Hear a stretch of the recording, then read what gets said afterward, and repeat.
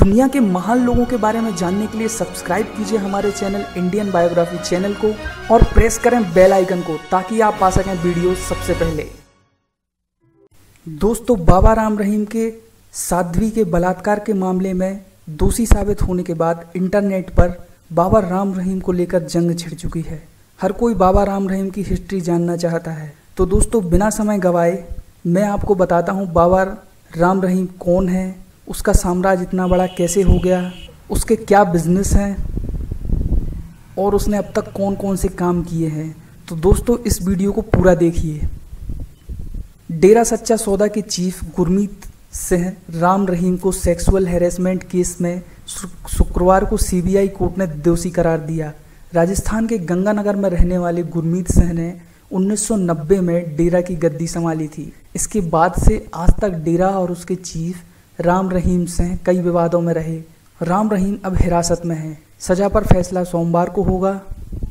बाबा राम रहीम के खिलाफ केस एक गुमनाम चिट्ठी के से सामने आया था। उस चिट्ठी के सामने आने के बाद जाँच के आदेश दिए गए थे।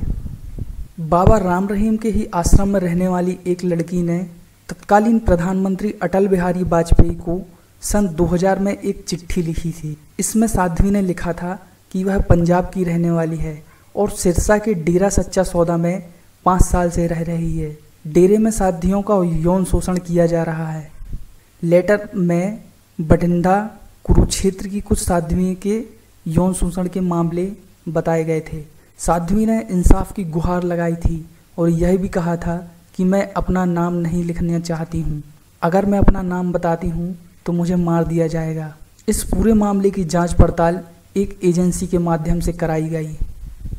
उसने यह भी लिखा कि हमारा डॉक्टरी मुआयना कराया जाए ताकि घर वालों को पता चले कि यहाँ क्या चल रहा है। साध्वी के लेटर में लिखी बातों का कुछ हिस्सा बेहद आपत्तिजनक था। इस गुमनाम लेटर के बाद ही बवाल शुरू हो गया। इसके बाद डेरा चीफ के खिलाफ एक के बाद एक कई विवाद सामने आए। रणजीत सिंह हत्याकांड और फिर पत्रकार रामचंद्र छत्रपति हत्याकांड तीनों मामलों में डेरा प्रमुख आरोपी हैं। मामला सामने आने के बाद, पंद्रह सालों के बाद, पंचकुला में सीबीआई की स्पेशल कोर्ट ने बाबा राम रही को सेक्सुअल हरासमेंट का केस का दोषी पाया गया और उसकी सजा का ऐलान सोमवार को होगा। इस पूरे मामले से पंजाब यूनिवर्सिटी में शहीद भगत सिंह चेयर के प्रोफेसर रोनकी राम कहते हैं, गुरमीत राम रहीम पर कोर्ट के फैसले से हरियाणा और पंजाब के राजनीतिक समीकरण बदलेंगे। यह सच है कि हरियाणा और पंजाब में तमाम राजनीतिक दल नेता डेरा प्रमुख के आशीर्वाद लेते रहे हैं। इसकी वजह से कई दलों की सरकारें भी बनी हैं। चुनाव में बाबा के सपोर्ट लेना लोकतंत्र के लिए खतरनाक है। इससे कुछ वक्त के लिए तो फ़ायदा उठाया जा सकता है, लेकिन लंबे समय में यह सोसाइटी के लिए नुकसानदायक हो। दोस्तों, अब हम बताते हैं कि आखिर क्यों लोग डेरा की ओर रुख करते हैं।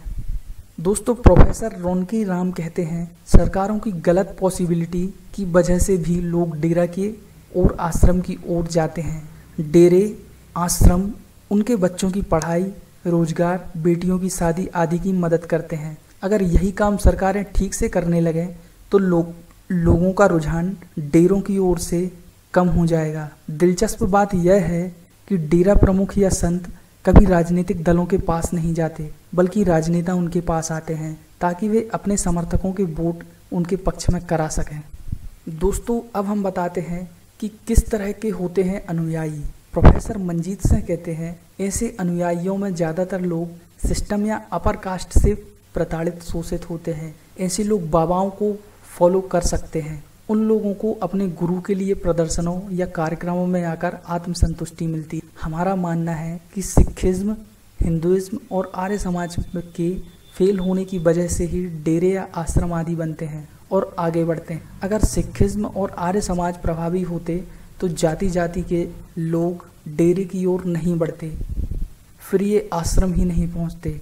इन्हें राजनीतिक दल शह देते हैं, क्योंकि वे इनका चुनावी फ़ायदा उठाते हैं। राजनीतिक दलों ने सत्ता हासिल करने के लिए डेरे का भरपूर फ़ायदा उठाया। हालाँकि डेरा प्रमुख राम रहीम बेटे को उत्तराधिकारी बना चुके हैं। सजा होने पर उनका बेटा ही डेरे की कमाल संभाले। दोस्तों, बाबा राम रही के बचाव में सीनियर वकील लाल बहादुर खेलाव के मुताबिक 1999 का मामला देरी से कोर्ट में फ़ाइल हुआ। मामले में साइंटिफिक सबूतों को बरामद नहीं किया जा सका। विक्टिम लड़की ने जाँच के दौरान एक बार बयान बदला। जाँच कर रहे इंस्पेक्टर ने गवाही में कहा कि वह विक्टिम ने रेप की बात नहीं की। और सीनियर वकील खेवाल के मुताबिक आरोपी बहुत प्रभावशाली है, जिसकी वजह से केस में देरी हुई।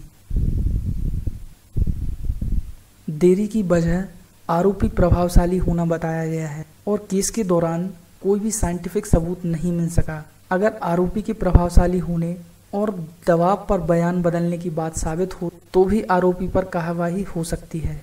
दोस्तों, अब हम आपको बताते हैं कि इस केस की हिस्ट्री क्या है। अप्रैल 2002 में साध्वी ने हाईकोर्ट और पूर्व प्रधानमंत्री अटल बिहारी वाजपेयी को एक लेटर लिखा था। लेटर में लगाए आरोपों पर डेरा चीफ की जानकारी हासिल करने में देर हो गई। दोस्तों, बाबा राम रहीम के खिलाफ बलात्कार के केस के अलावा एक पत्रकार छत्रपति पर हमला और हत्या का आरोप भी है। दोस्तों, बाबा राम रहीम का जन्म 15 अगस्त उन्नीस सौ सड़सठ को राजस्थान के श्री गंगानगर ज़िले के गुरसर मोदिया जट सिख परिवार में। बाबा की तीन बेटियाँ भी हैं और एक बेटा भी है।